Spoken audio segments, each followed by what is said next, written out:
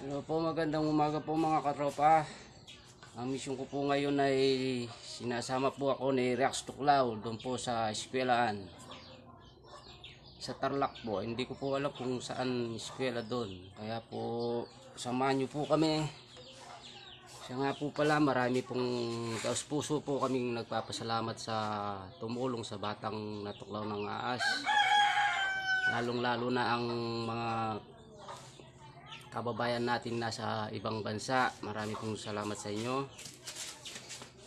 Ganun din po sana tulungan po natin si Santo Cloud dahil hanggang ngayon nasa ospital pa siya.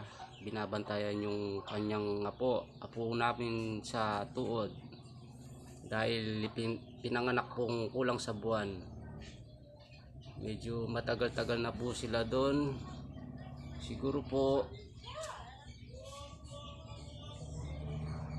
sana po ay panalangin po natin. Yun nga po inihingi po po ng tulong kahit konting tulong lang po. Salamat po